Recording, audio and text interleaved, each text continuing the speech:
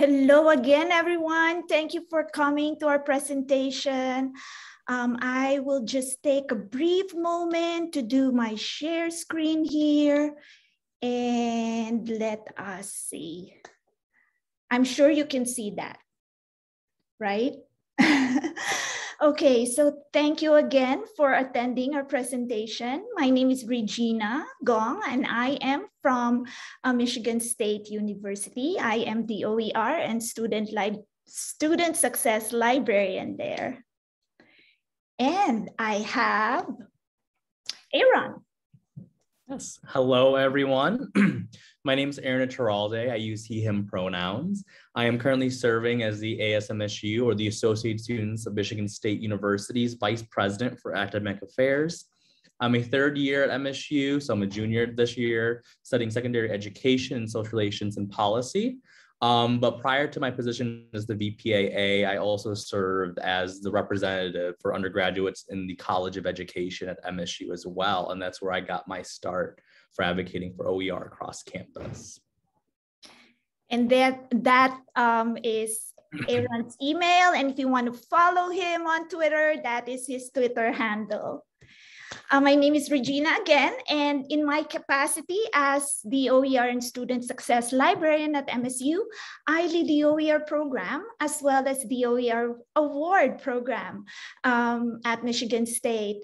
I also manage our um, open textbook publishing via Pressbooks, and as part of what I do, I give um, a lot of uh, professional development, uh, presentations to our faculty, staff, librarians on various topics that deal with open. And um, since last academic year and on to this um, academic year, I have been facilitating the open pedagogy learning community at MSU. So this presentation is really all about student advocacy and support. I know that mm. our students are at the heart of what I do or what we all do in the open. And I'm so proud that I am sharing this presentation with um, Aaron, who is our student leader at MSU. So before we start, we'll, we just want to, to you know, share with you our origin story or how we came to be here in the open. So um, for me, I started at a community college. So back in uh, 2014, um, I became the OER project manager at Lansing Community College. So that is not far from MSU, it's just in downtown Lansing. And in that role, I led a very successful OER program um, at at LCC and um, in a community college where a lot of students are, um, you know, non-traditional and it's a commuter commuter commuter college. I was able to harness the power of student participation and advocacy um, by starting with our student employees in the library. So we'll talk about that more as we go along, but um, let's hear about Aaron's um, origin story. Aaron, tell us about it. Yeah, so as I said before, before I came to the position I am now as the Vice President for Academic Affairs at ASMSU, um, last year, I served as a representative in the General Assembly, which is the legislative body for the undergraduate population, as the representative of the College of Education. Um, and, you know, this was a time during the pandemic. So one of the biggest um, and most pressing issues that I was trying to tackle was how do we make sure that we are still giving students um, access and um, access to an affordable education. Um, in the back of my mind, you know, there were many things that were often hard to push for, such as decreasing tuition, because those have other externality, more externalities to them, such as, you know, state appropriations and just, you know, cost of um, functioning the universities. But I look deeper and saying like, how can we actually decrease those hidden costs, as I like to call them, for students, which includes, you know, buying textbooks or, or you know, seeking transportation or um, all those other costs that you don't see on your tuition bill right away. So I wanted to try to tackle that first. And my first instinct is like, let's tackle the issue of the increasing cost of education materials that students would have to purchase. Um, in my own experience, I've definitely spent at least $500 once on, um, you know, textbooks, e-codes, um, which I could have used, you know, to pay rent, to pay down my student debts, to to even maybe buy some gas so I can travel home to go see my parents who live an hour away. Um, and that, you know, my experience is one of over 40,000 students experience here at MSU's campus. So I really wanted to tackle that issue head on. Um, starting with, you know, just education materials and the cost of those. So, you know, my first instinct was let's create a textbook library where, you know, a service where we can, you know, buy textbooks and check them out to students. Um, but further, you know, looking further into it, it was not sustainable. It was not, you know, encompassing of all the issues. So digging a little bit deeper and researching more, I stumbled across open educational resources and I found the many benefits that it had, not only that it, you know, addressed issue, addressed the overall issues of, you know, those increasing um, increasing um, cost of buying them, but also address issues of, you know, how do we teach students? How do we encourage students? And how do we, you know, create a better learning environment for students? So as I was doing my research and research more into it, I happened to stumble across um, the MSU Libraries um, LibGuide page on OER, which is ran by Regina. And I found it interesting that we at MSU already had a system in place that is fostering OER initiatives. Um, so I said, hey, if there's a system in place, let's let's get on board with this. So um, if Regina wants to go to the next slide, I actually um, emailed her um, around October last year. So almost, I think, over a month ago. Yeah, over a month ago, we or over a year ago, I sent this email to her you know saying that i found your web your web page and i found it really interesting. Let's let's get together. Let's talk. I want to learn more about what what msu is currently doing and how asmsu can help. Um, so that's kind of like my long origin story in oer um, and that's how i found regina and now my my um, partner in crime as i like to call her. You know what? When aaron sent that to me 5:26 p.m i think i like i jumped to my seat and like oh my gosh it's like you know someone from asmsu is emailing me about oer i you know replied right away and told him when can we meet and I mm-hmm. think within two days we met in my office, right? Yes, within like the week we met virtually. Um, and I was just ecstatic that you responded to me in such a quick manner. I wasn't expecting an email that fast. so I jumped right to it. Let's we scheduled a meeting and I, you know, I I learned more about what we're already doing with OER and how ASMSU could help out with that. Yeah, and as you know, all of you know, you, all of you here in this Zoom room, working with and involving students is really critical in any OER initiative. And if you were um, at this morning's plenary when we were doing the Mentimeter questions, um, we ask we ask the community what what motivates you to do OER work, and a lot of you says it's our student right? And so if we are doing this for our student, it really is critical that we let them be involved in the work that we do.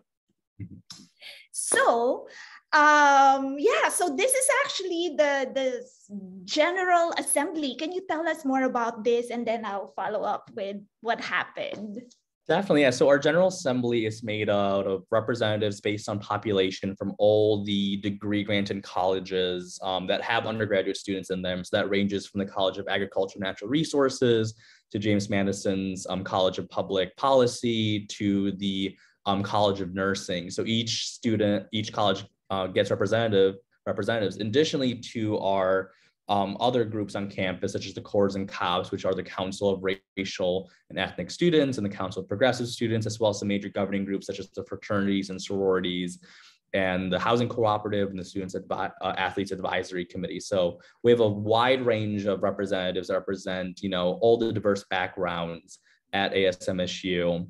So that's kind of the people in like the in the side right here. Um, in the front here, that's you can kind of see me in the corner looking at my laptop there. That's our office of the president, who's kinds of navigates the advocacy that the General Assembly passes. So that's the most important thing the General Assembly does is they pass our legislations and policies that we want to pursue um, on MSU's campus or in the broader community around us.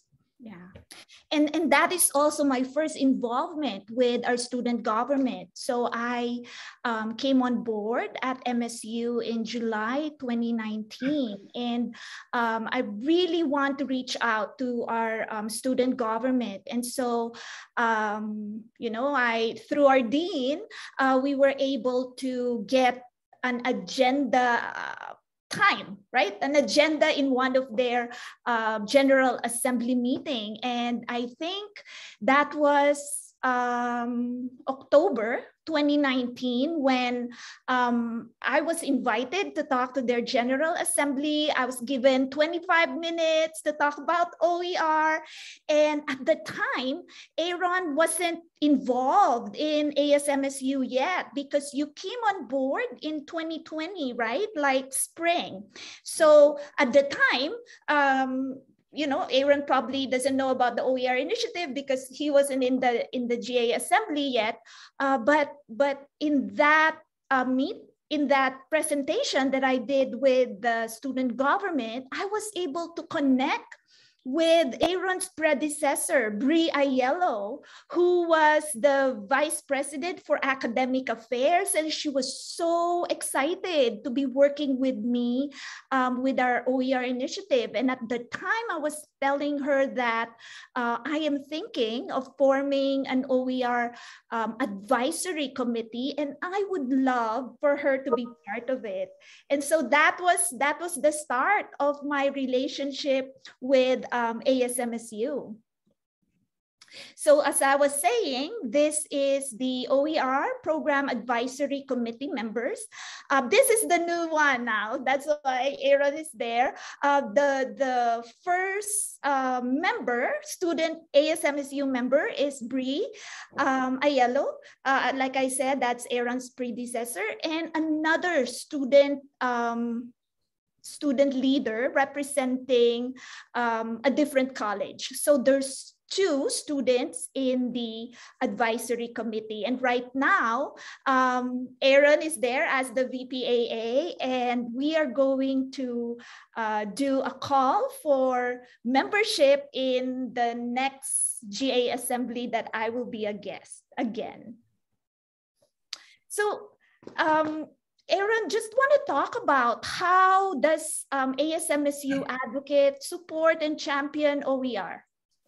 Yeah, so definitely. So one of the primary ways that ASMSU just advocates for anything is by passing legislation through our General Assembly, which is again the legislative body. So after that initial meeting with Regina, I said to her, let's um let's create a bill. I mean, that's the starting point for all our advocacy at ASMSU. So over the next week and before the next full session, um, where all the General Assembly representatives meet, we drafted this bill.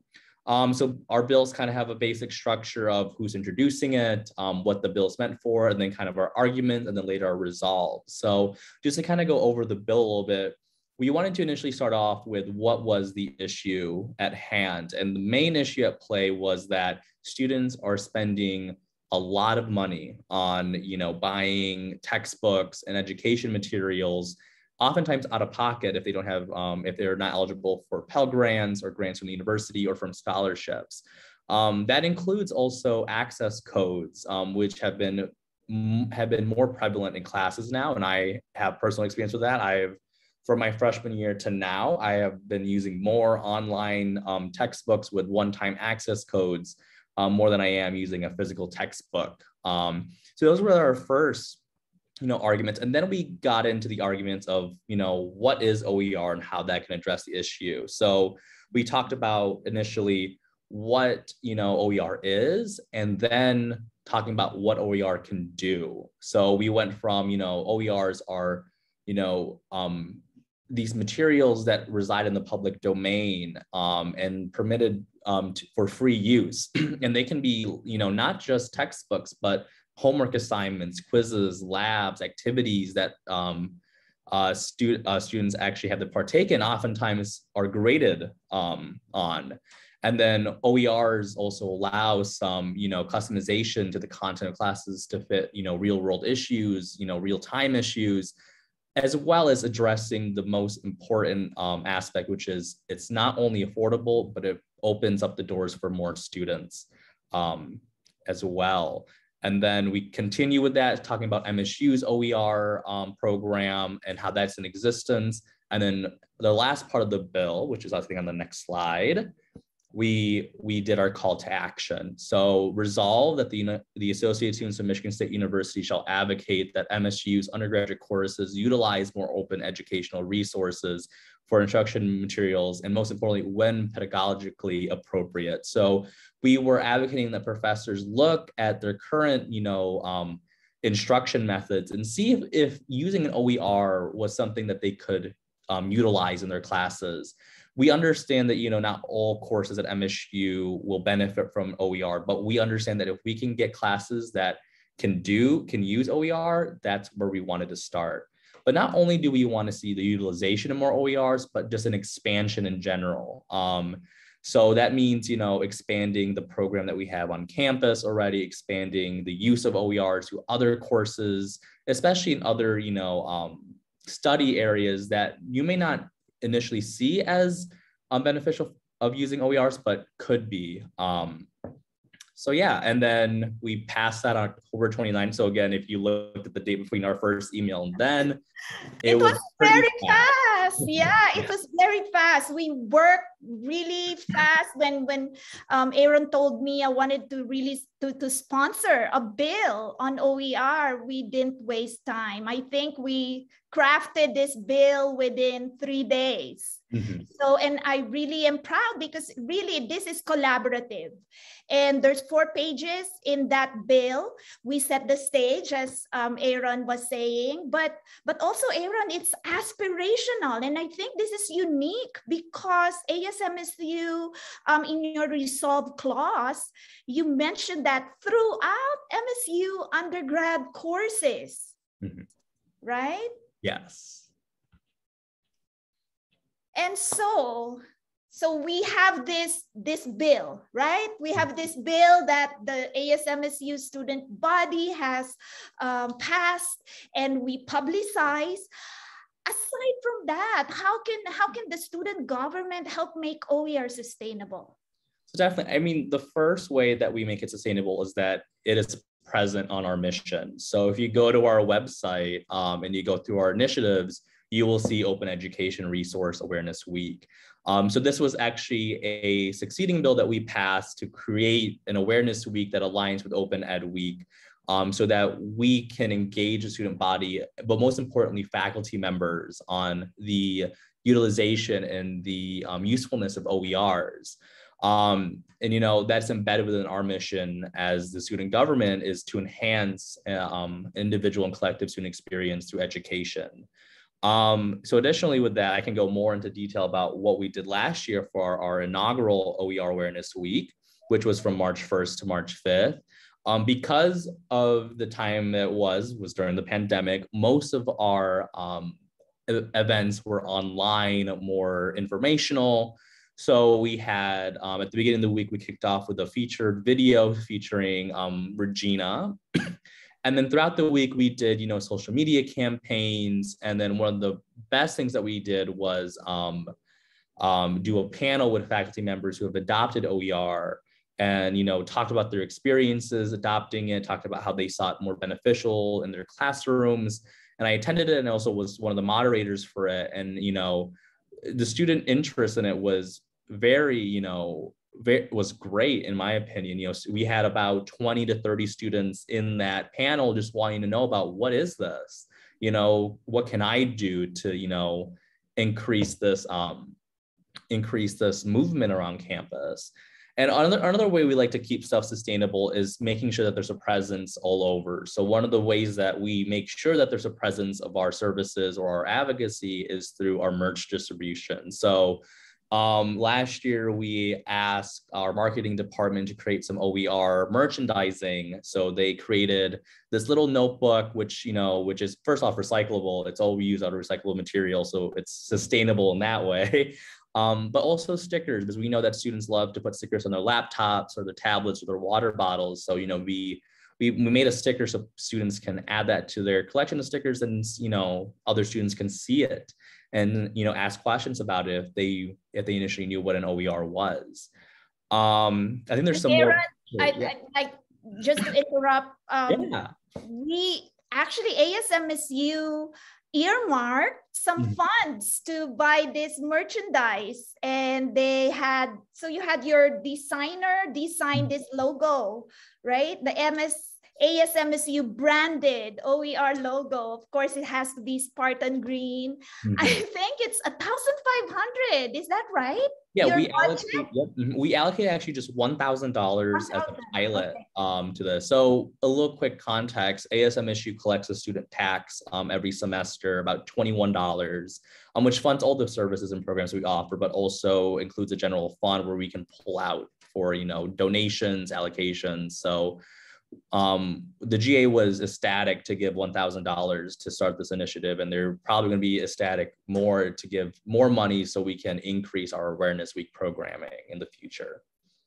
Yeah, so, and we went around the library distributing merchandise to our students who were there. That was um, around March, right? Right after the semester break. And also some of some of um, your your student colleagues um, aaron i think distributed it in the residential halls in the union yes. in, in various locations around msu right yes we did um, and um, we also have some at our office at our like office space where students can come in we have a little table with all that um, with all the information about our advocacy. And I think we still have maybe a couple more stickers left from there, but we're definitely going to get more this year because we knew that was, that was such a hit, especially with only only a small handful of students on campus, you know. At the time. Yeah, and so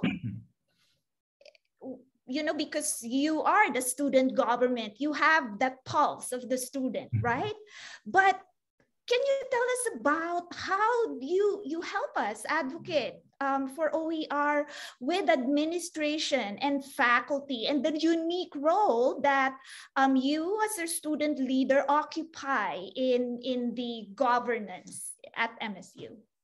Yes. So one of the great privileges that I have as the VPAA and as well as my predecessor Briello had was that we had regular meetings with you know top administrators at the university. Um, I have monthly meetings with the provost, which is the executive vice president for academic affairs at MSU. And we also have biweekly meetings with the undergraduate associate provost. Um, so, you know, having these month, uh, these really regular meetings allows me to really, you know, argue that these initiatives, especially OER, is what's beneficial for the student body, more specifically the undergraduate population. Um, one of the things that we are currently working on right now as an organization, because we had a lot of bills that dealt with undergraduate education, and this is kind of one of the forefront um, initiatives, is creating a best um, teaching slash instructors guideline. Um, that is something that we're currently working with the Office of the Provost to create, so instructors can look at that kind of guideline sheet and see what they can implement in their classrooms to make sure that their students are successful. Um, additionally, you know, MSU just recently passed our strategic plan, which is a 10 year plan and goals that we want to um, achieve by the year 2030. And the first and the first listed goal and initiative is student success. So we were able, you know, um, we are now able to argue that, you know, if we want students to succeed, if we want students to graduate at higher rates, if we want students to have a more well-rounded and well-diverse education, OERs is one of those initiatives that can that can drive that goal. Um, so we're in talks with, you know, with the again with the associate provost for undergraduate education's office on how we can begin um, persuading faculty members and instructors to utilize OERs in the classroom and in their construction.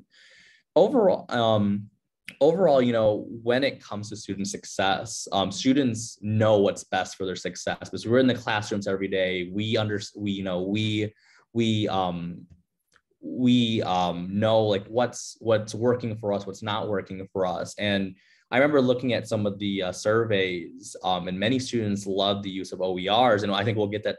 Yeah, we'll get we'll get to that. And and to your point, to your point, um, Aaron, you know the the proximity to power, right, that you have as student yeah. leader is really integral for for us you know um, oer leaders who may not have that regular uh, meeting right mm-hmm. with with the provo or certainly with the um, associate provo graduate education or, or undergraduate education and and when it comes to faculty um, this is what we we did right when when we did the um, open Open Education Aware Awareness Week, we um, awarded, or the ASMSU student body awarded uh, the OER Leadership Award to mm-hmm. our faculty OER creators. So I worked with them to determine who are the faculty who are using OER, created OER, and we did a list and they printed this out. Bree was still the um, uh, the VPAA at the time.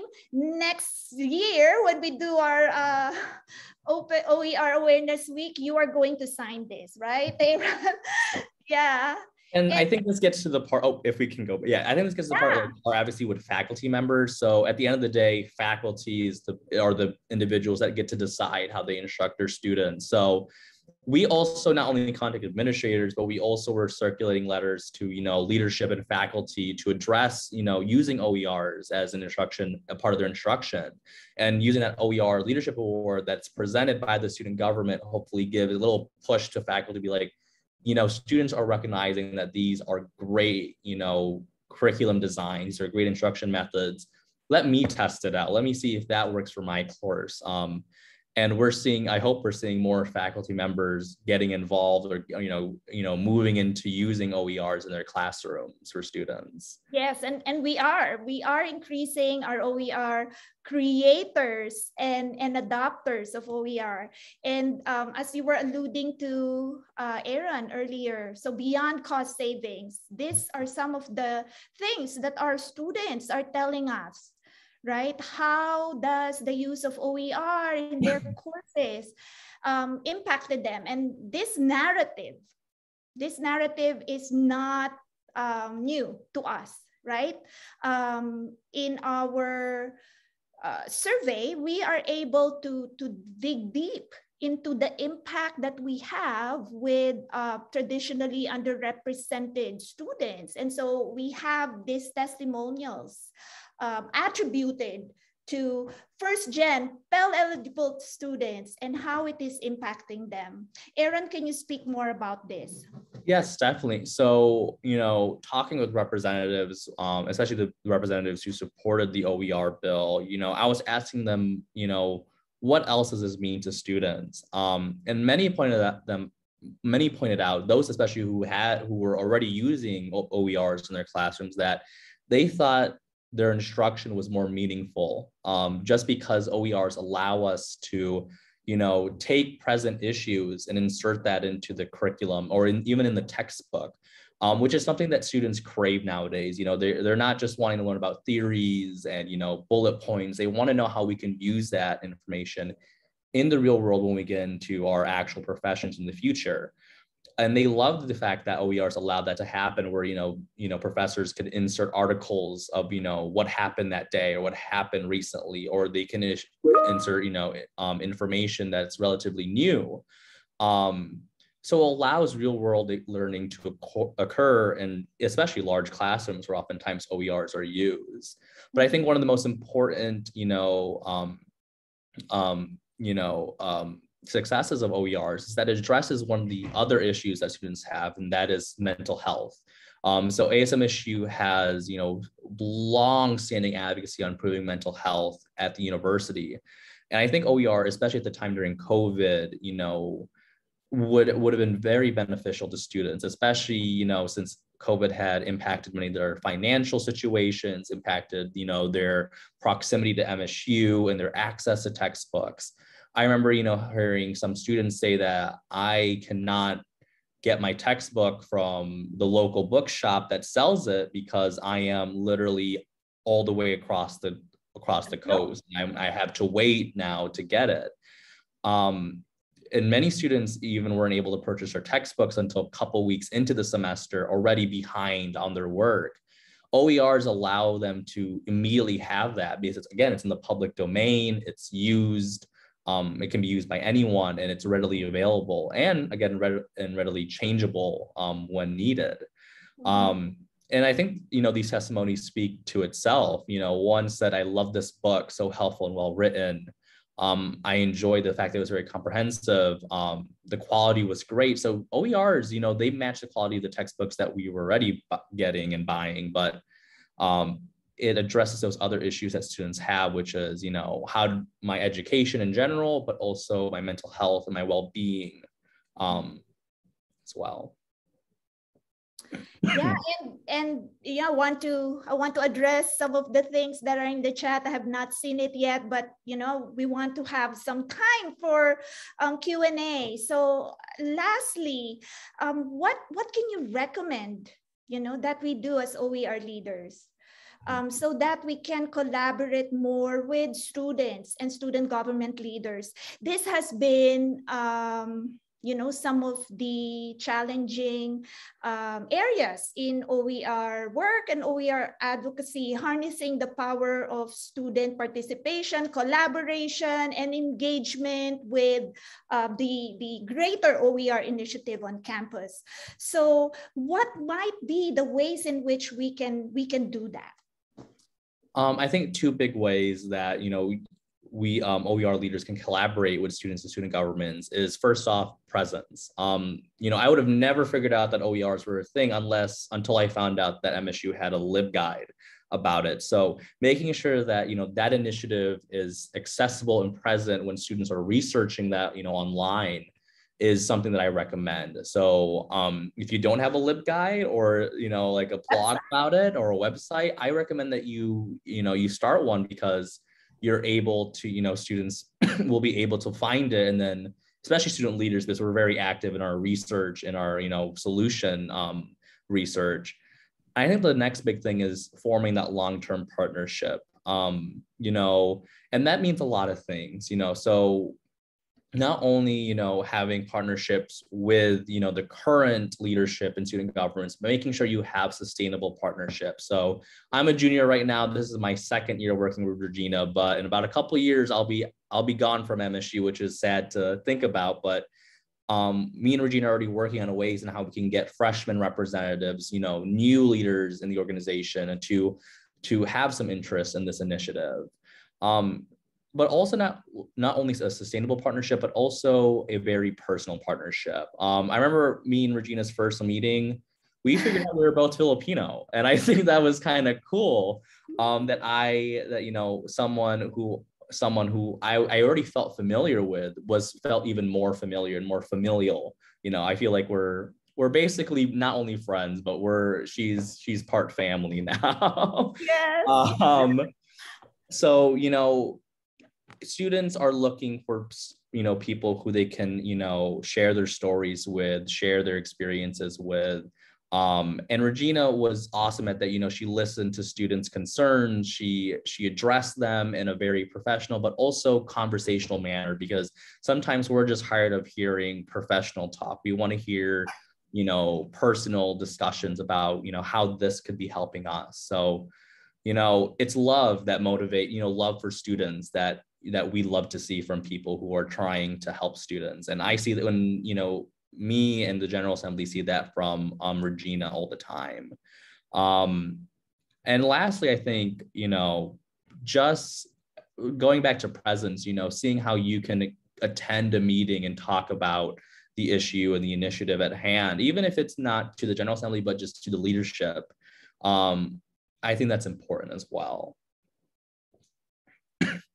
Thank you for that, Aaron. You are gonna make me all teared up, but really, when when I found out that Aaron is half Filipino, I was like, oh my gosh, Aaron, we are, we are, mm-hmm. you know, we are like family. So I don't always see a lot of us right? Um, in academia. And when I see that one, I really hold on to it. And we have really this personal relationship that I hope we can uh, maintain, you know, long before, long after your, your days here at MSU.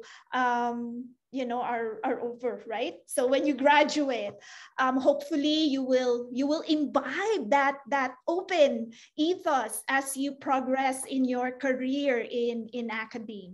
So we'll stop talking and we'll we'll we'll try to you know address some of the questions that you have in the chat. And if you want to unmute yourself please do and ask us questions Oh, thank you. I'm gonna read your your the things in the chat now. Oh, okay. So um, Doreen says, could you share a copy? Yes. Um, actually, one of the, the bill that they passed in relation to the main OER bill is uh, putting a CC by license in the bill itself a first, right? Because you mm -hmm. don't do that. But it's like, well, folks will probably want to adopt your bill. And so, yes, well, putting a, a, a CC license and we'll give you the link probably embedded in our presentation so you will see it. Um, another, do you have a list of the questions that, yes, I have a list of the questions. So it's, you know, it's 11 no 10 questions not that many because we don't want to inundate students when we do our end of the semester uh, feedback um, yes i can share that with with you too um, let me see what else is in here. Do you track how many faculty members? Yes, I do. I am big on assessment. I am big on um, tracking uh, OER adoptions. Uh, in my presentation pre-recorded on Wednesday, you will hear more about that. So um, yes, we, we do track we started tracking it fall 2019 semester and have been doing that every semester. Uh, and how did higher administration help with your efforts? Um, maybe Aaron, you can you can address this.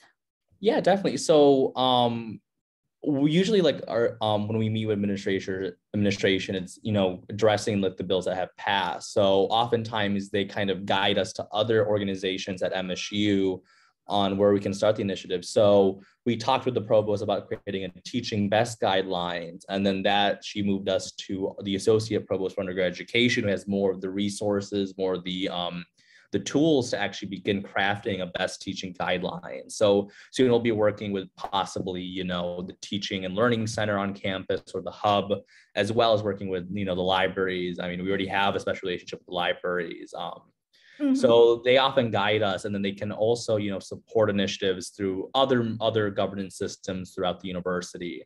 Um, we're still kind of in our, you know, planning phase right now, but we we are definitely seeing higher admins, you know, direct us and give us resources that we need to, and advice too, to like um, pursue the advocacy.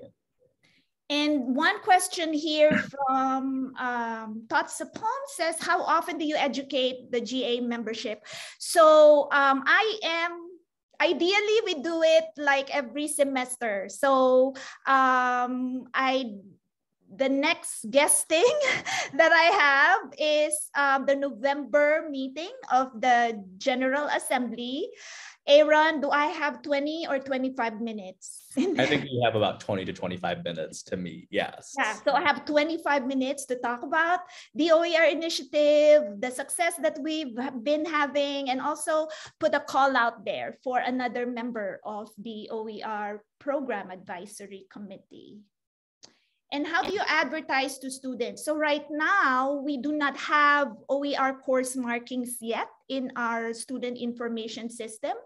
Um, we just migrated or yeah, we just migrated to a new SIS. And so uh, a lot of the campus uh, systems are still working towards optimizing that new SIS. So um, that is a plan in the future.